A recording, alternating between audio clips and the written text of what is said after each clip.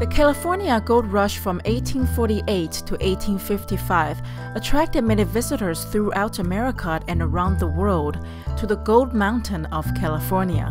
今天我们来到北美规模最大、最古老的中国城。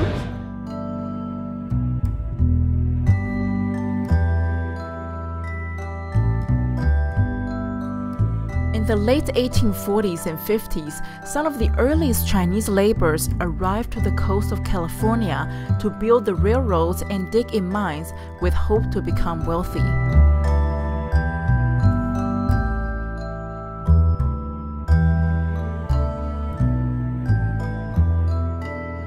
旧金山的金门大桥于1933年施工，1937年完工，全桥总长度为2737米。 The bridge had the world's longest span from the time of its construction until 1964. 三藩市市中心在金门大桥上尽收眼底。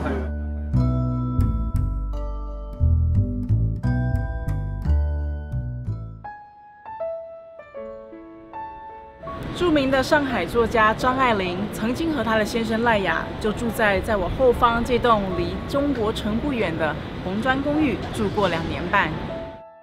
Thanks to her parents, both classical Chinese literature and Western literary writings deeply influenced Zhang. She was able to develop her own unique literary voice.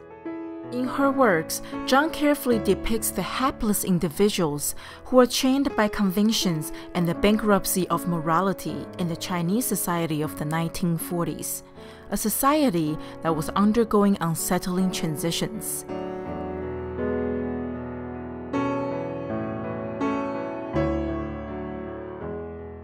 We'll begin this lesson by quoting a saying from the well-known Shanghainese writer Zhang Ailing. She once said, 人生就像一场舞会，教会你最初舞步的人，未必能陪你走到散场。人生就像一场舞会，Life 就像 is just like 一场舞会，a ballroom dance。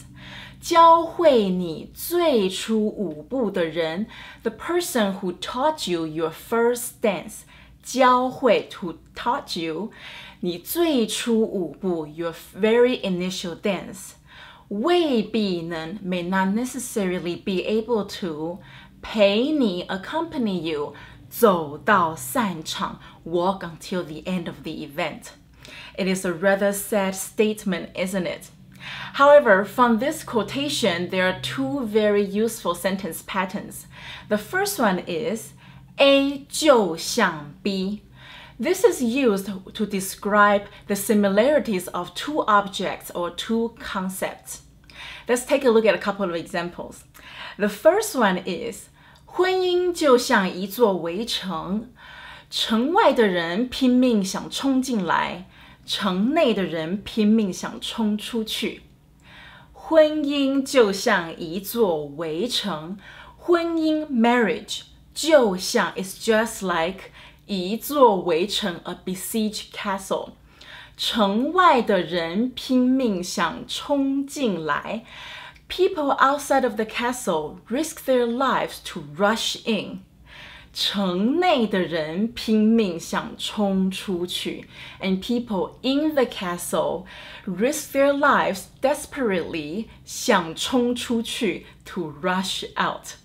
I don't know if you agree with this statement or not.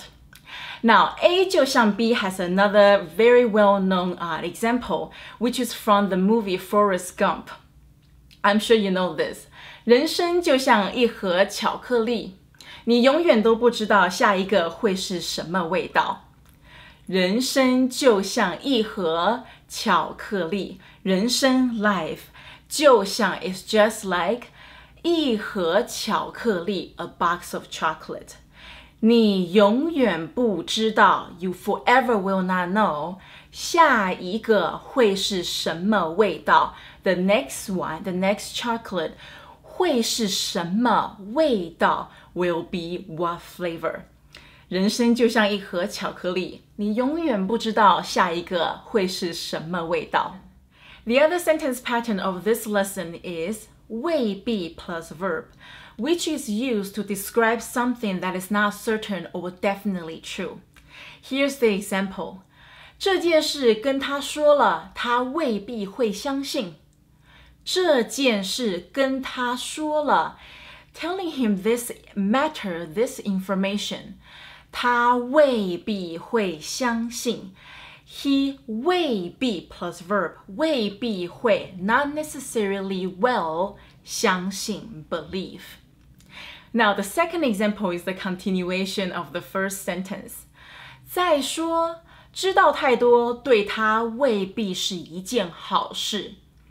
再说，moreover，再说，知道太多，知道太多，knowing too much，对他 to him 未必是一件好事，not necessarily is 一件好事 a good thing.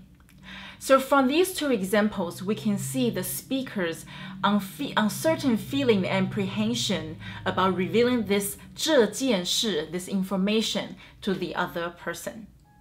In this lesson, we learned two sentence pattern. A 就像 B，人生就像一场舞会，婚姻就像一座围城，人生就像一盒巧克力。And 未必 plus verb. I have a challenge for you for this one. See if you can interpret and translate the following sentence using 未必 plus verb. 你能看见的未必是真的，而真的你却未必能看见。 Please provide your translation in the comment section be below. I hope you enjoyed this lesson. Please share my videos if you find them helpful and feel free to subscribe to this channel and follow me on social media. 我们下次见。